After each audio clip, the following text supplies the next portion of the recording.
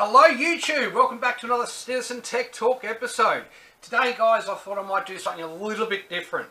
Um, as you've seen the studio in its current state, obviously there's some things that need to get fixed up. Uh, firstly, the green screen uh, is my first project uh, of part of setting up the uh, studio finally. So guys, what I've done, I've gone down to Bunnings. Um, I don't know what you guys in America have in relation to uh, hardware stores, Mitre 10 or something. Uh, and um, I've gone and got myself some stuff. Now, I already had some Gorilla Grip, Gorilla Grip glue, and I'll just get a close in on that one. Okay, so Gorilla Grip's probably the one I use the most. Uh, it's great with any kind of wood, including teak. And if you know anything about wood, teak's very soft, uh, and this actually won't actually damage teak either. So, and super strong grip, it's fantastic stuff, and it also sets clear. So uh, really fantastic uh, wood glue and we'll be using that today to butt up the joints. Uh, I'm not doing any cornicing or any, or any, 45 degree angles or any butterflies or any of that kind of crazy ducktail stuff. I'm keeping it simple stupid because at the end of the day this frame is going to be sitting behind the screen anyway and never be seen. Okay, so that's that one. My favourite tape on earth, good old gaff tape, or in this case it's cloth tape uh, made by a company called Bear. It's just cheap stuff, but hey, you know, at the end of the day, gaff tape fixes everything. Just ask me if Mythbusters. Okay, cool. So that's that one. Also, I've got two different types of brackets. So obviously, uh, for those of you that do any handiwork around home, this is going to be pretty obvious, uh, the kind of thing that you're going to use. Uh, at the end of the day, it's um, just your 90 degree angle brackets, your flat brackets, and they're going to hold obviously the frame together. And also, because I'm attaching this to something which is a bit unorthodox, uh, it's actually um, an old coffee table. So it's a metal frame coffee table. I'll actually show you it before we uh, attach uh, these clips onto it. Um, but it's bulky, it's got sharp corners, and it's a total nightmare. I've got a fantastic wood teak coffee table anyway, which is going to go in place in the living room. And I'm going to make some use of this uh, horrible old metal coffee table once and for all uh, and not bash any more legs on the corners by using these. So these will go through the top of the frame, which I'll demonstrate to you, uh, and then I'll drill these in from the bottom, and then the top side of the 90 degree bracket, so you can get an idea of that, where the wood will run across. We'll then screw into the wood, holding it in place with gaffer tape, making sure it stays in place on the whole entire side of both sides of the angle bracket. Gaff tape's the bomb. Okay, what else you'll need? Okay, so you're going to need uh, some separate type of screws. Actually, wood screws are your best bet. These are brass wood screws, uh, cheap as anything. Same thing, Bunnings, uh, super cheap. They will hold the back of the screen on uh, with obviously some uh, uh, foam rubber tape I've got, which I'll show you in just a moment.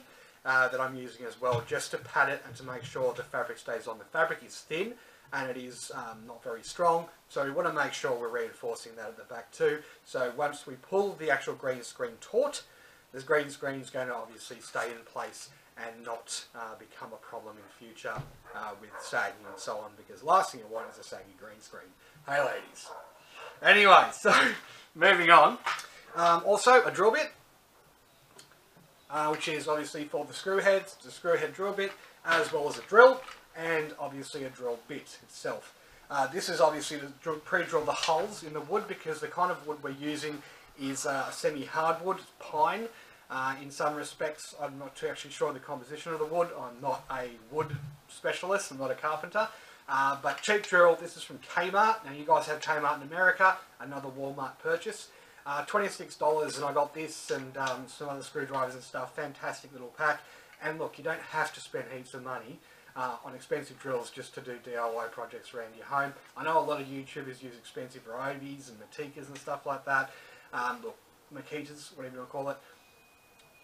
End of the day, it's a drill, it works. Uh, the battery pack's on charge at the moment because we put some bed, uh, beds together for the kids and obviously uh, the old wrist and arm get a bit sore screwing in manually. So uh, this one's runs battery down, but look at that. It even comes with screw attachment uh, with the actual drill. What I've gone and done is actually purchase um, some other bits. Cheap as anything, once again Bunnings. Fantastic. So um, guys, look, at the end of the day, all you're going to need left is a pencil and a pen. Reason why the pen? Young fella did a fantastic diagram for me. I'll get him to, uh, to zoom in for me. Great, so fantastic. See, he's done a fantastic job here. We've got the frame, we've got the uh, the angle brackets, we've also got the 90 degree brackets, the green screen, and how it all is going to stick together. Um, and pretty good effort. Uh, so yeah, the young fella's my cameraman today, so give him a, a round of applause. That's his first time, and he's doing a fantastic job so far. Okay, so these are the dowels. Now, you don't need anything really stronger than this for a green screen. The green screen itself probably weighs about 300 grams, if that, uh, maybe 400 grams at most, depending on the size of your green screen. I've got quite a large one. I actually went to a company called Spotlight in Australia. I think you guys have Spotlight in America as well. They're a textiles uh, place where you get all types of stuff for your house and your bathroom, your kitchen. And um, yeah, the actual um, uh, fabric I used, I actually had to get some hem glue tape and actually hem the two uh, rolls of fabric together because obviously they're on a um, on a bolt and you know you can't get a piece that one piece that big but as you can see the green screen works perfectly and the seam is um, invisible on cam so that's all that matters. Uh, these are the, the frames I'm using so it's going to be a 1.8 by 1.8 by 1.8 by 1.8 square simple square. As it's going on the coffee table I'm going to get that additional height so then I can then use the camera to view over to his computer, uh, as well as obviously my normal setup at the moment um, to make sure the green screen is always working perfectly. And then when I need to move it, when I'm doing the review set, it's easy to move at that time too. Really, really simple, really easy. All of this, minus the drill and the other bits and bobs today that I've bought, which is the wood, the brackets, the 9 degree brackets. And the gaff tape cost me under $30. So guys, it is super, super cheap to do a super high quality green screen yourself at home. Uh, the additional costs, obviously, for your green screen, the additional cost for your drill and your bits and all that type of stuff, glue, uh, are obviously additional extras. But at the end of the day, um, if you've already got that stuff, and most people have this stuff lying around your home in your garage, you just don't realise it. So go have a look first. Go check out your garage and you know make sure that uh, you've got all this other stuff. You probably do already anyway. And um, everyone's got gaff tape in their garage. Everyone. Uh, I've got, a, you know, this is a separate roll I bought today because I've actually just used the last of it trying another method, uh, which I'll show you shortly, which just simply is not going to work uh, for all intensive purposes. So yeah, gaff tape, always have some in your house, two bucks, 18 at uh, Bunnings for all the Australian customers. And um, look, it's a fantastic investment always to have around your house. It fixes everything. It's limitless applications.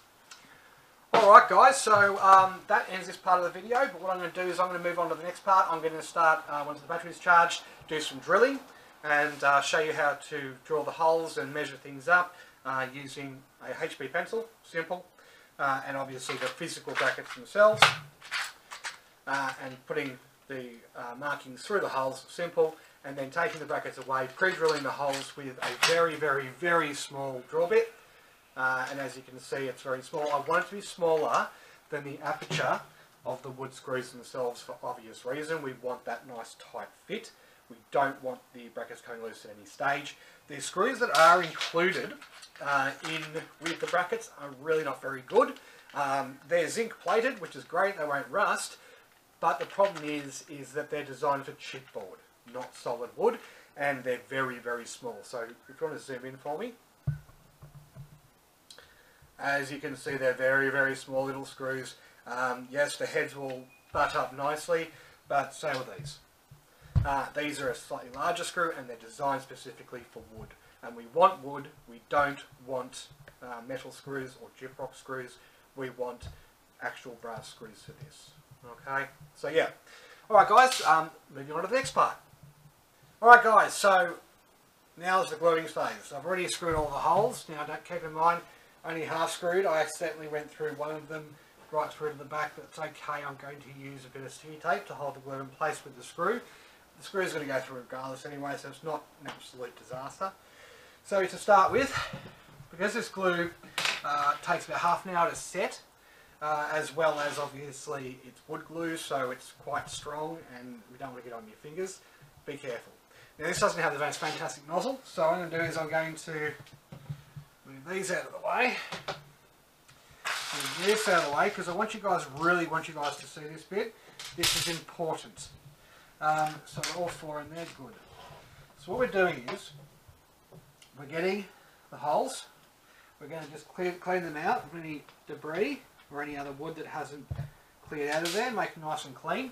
Now we're just going to get the wood glue and we're going to squeeze it just on top like so. Now it looks like a lot, but keep in mind guys, we are putting the brackets on as well, yeah? So the first bracket goes on, um, this way.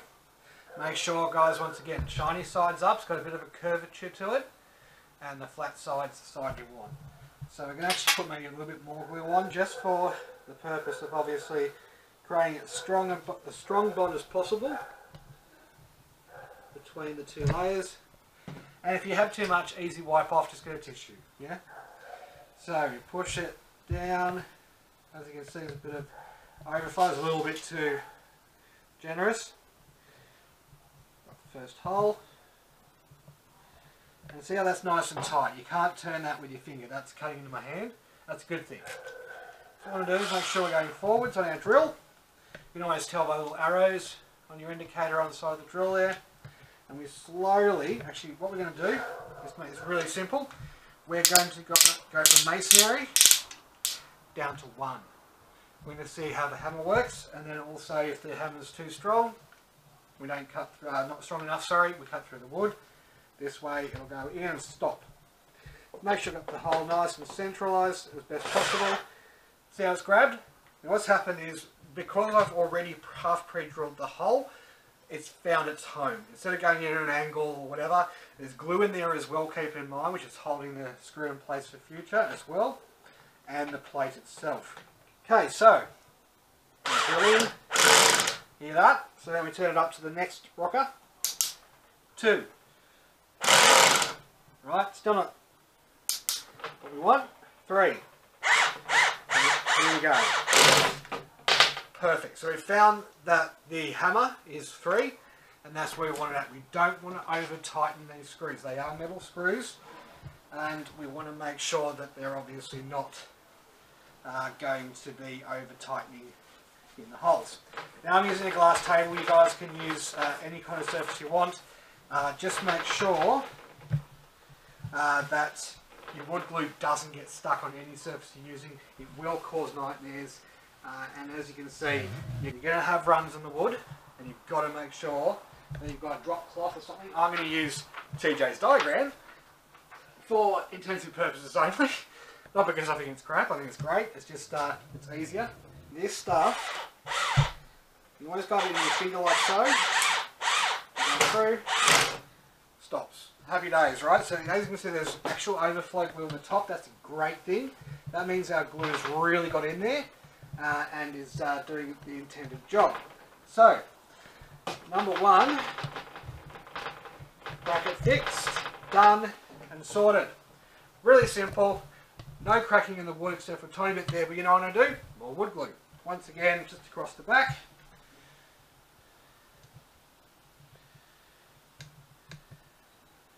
So when you're using cheap woods, you've got to also keep in mind, guys, that it's not always going to be the greatest, strongest wood you're using, and it's not always going to be, obviously, as uh, reliable as you want, but things like this are so easy to fix. All we're doing is just scraping off that excess, pushing it back in between. Now keep in mind guys, this glue does set clear, so we haven't got to really worry too much about how this looks at the end of the day because the green screen is getting over it. So I'm going to do this on the other end and we'll continue on and then we'll come back and show you the next part of the video. Cheers. This is the frame put together.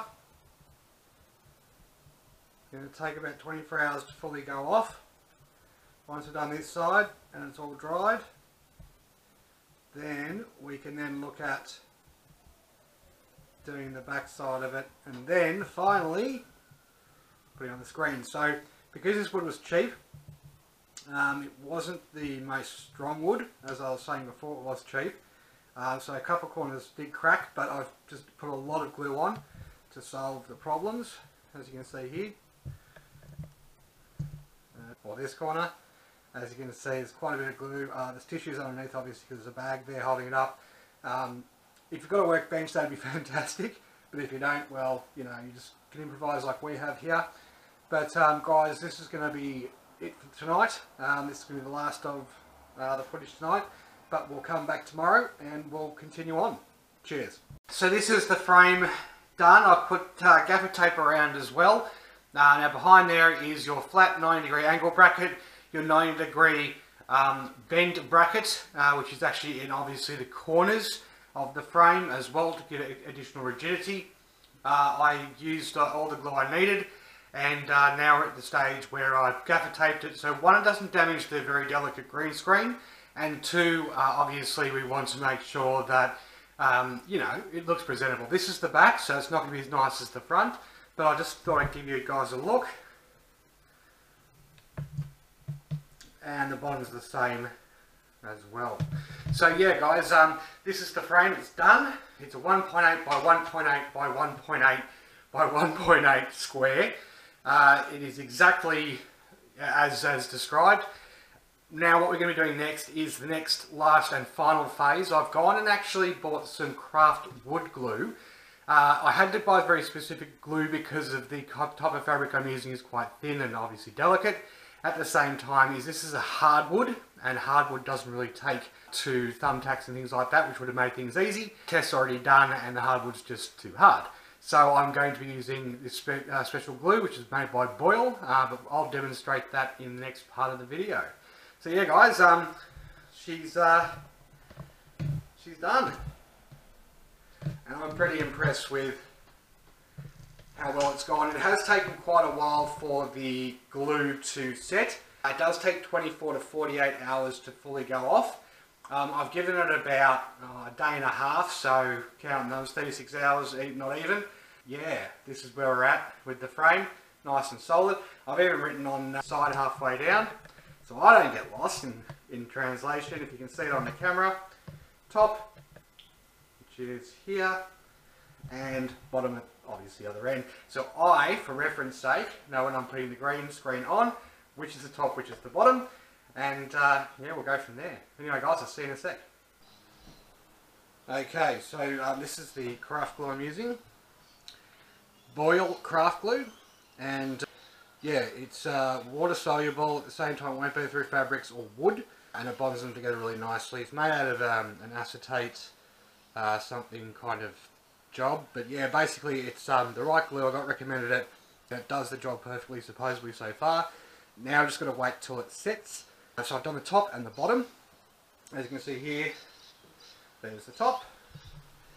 And there's the bottom. So as you can see, it's really, really nicely taut, pulled taut, no wrinkles. Um, now what we're going to be able to do when we've got these two parts dry is got the sides so the sides, as you can see, are a bit longer than the actual frame, but that's fine. What we're going to do is to create torsion or tension is we're going to uh, basically roll these sides up on, on themselves and create that tension and then glue them. Uh, I'm thinking about also maybe stapling uh, the fabric together so a bit like the top as you can see with the sleeving up there where I had it on the hooks before we might be able to do something like that just to create that nice reinforced tension across the middle because at the top here that's where the top is, where the brush is. I put it there just to remind myself because obviously I can't read the wood anymore. But more importantly we want to keep this obviously as straight as possible and wrinkle free as possible as it is going to be a perfect green screen. But yeah, so this is stage two of the skinning of the green screen. It is a lengthy process, but you know what, end of the day guys, you know, do something do it properly first time.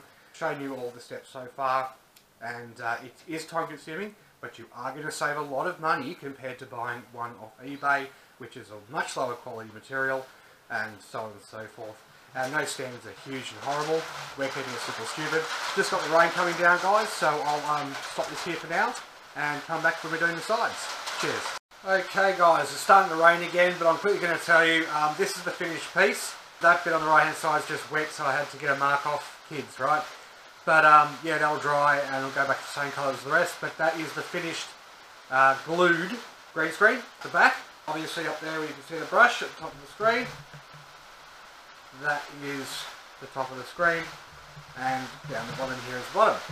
So that's going to be standing up in the um, in the uh, YouTube studio against the stand I've made up and we'll show you that next just before we put the green screen in place.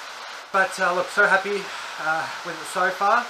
It is what it is. It is a green screen. It did cost under 30 US dollars. And at the end of the day, it's going to do the job perfectly for what I need it for. And uh, guys, I saved a lot of money compared to, you know, going and buying something off eBay, which is much lower quality. And look, I had fun making the green screen in the first place. I've had fun this whole project. A uh, bit of, uh, you know, handyman woodwork. I'm not a carpenter by any stretch of the imagination, but hey, I'm done, I'm finished.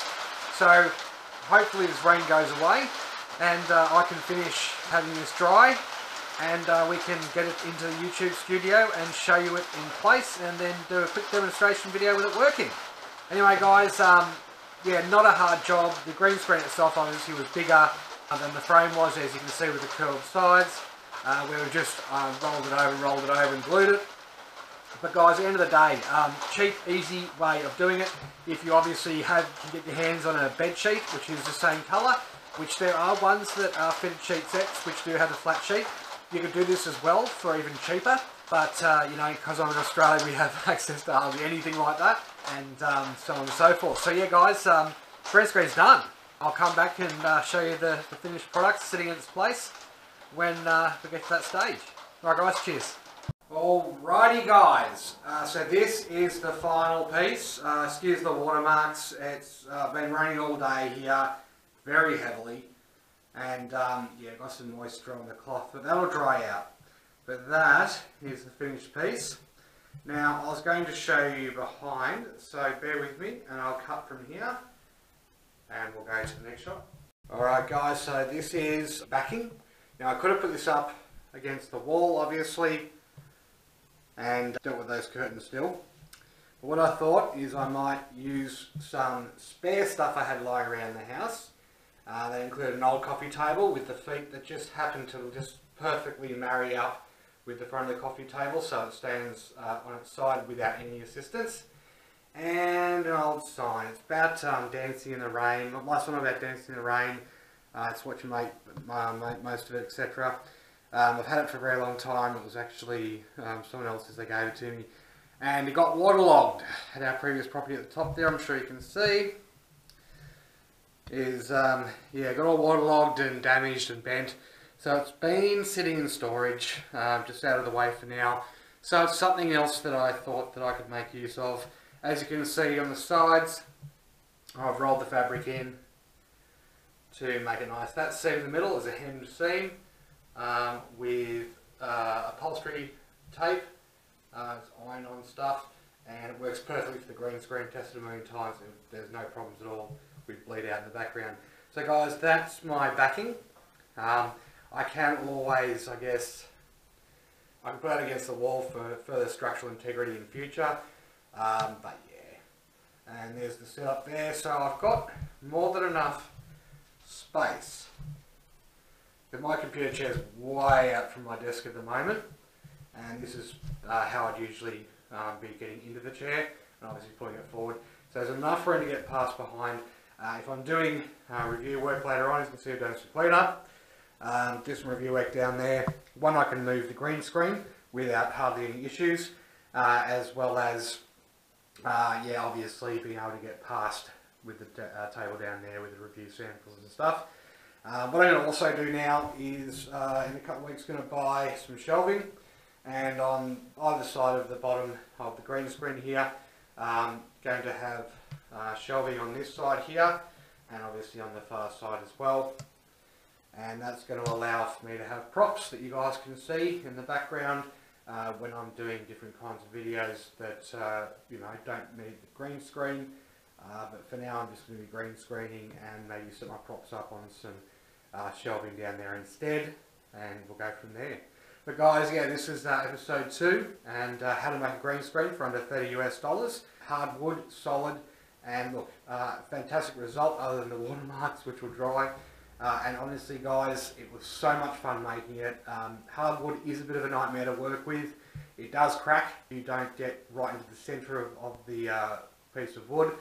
But at the end of the day, it's hardware and it won't bow and it won't uh, lax, it won't uh, bow downwards and twist out of shape.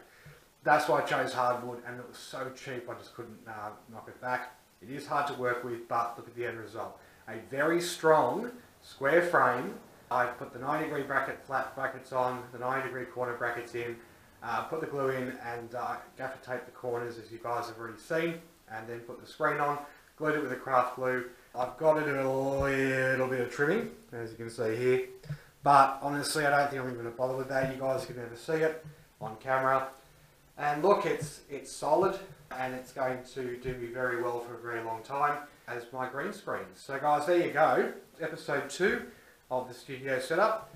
Episode 3 is going to be down here. And once we've got all this covered up with some nice black sheeting, I looked at some uh, blackout curtains. They will do the job just fine and I'll just run them either side of the roller door at the top and that will solve that problem just with a bit of dowel and run it through. Once again that won't be in shot in the future. I'll have the shelving behind me uh, with the CTT obviously in silver and uh, Citizen Tech Talk below that with the black drop sheet with the shelving in front of that with the props on it. I'm going to have to get some more props at some stage. I guess buy some more stuff. Don't need for my computers, but anyway. Um, and yeah, that's going to be the review set. And more importantly, uh, before I do that, the episode 3 should include the Hue lighting setup that I'm going for as well to really show the ambient lighting in the room uh, to really set it off, especially in my future videos. It's going to have that nice hue around when I'm doing the reviews.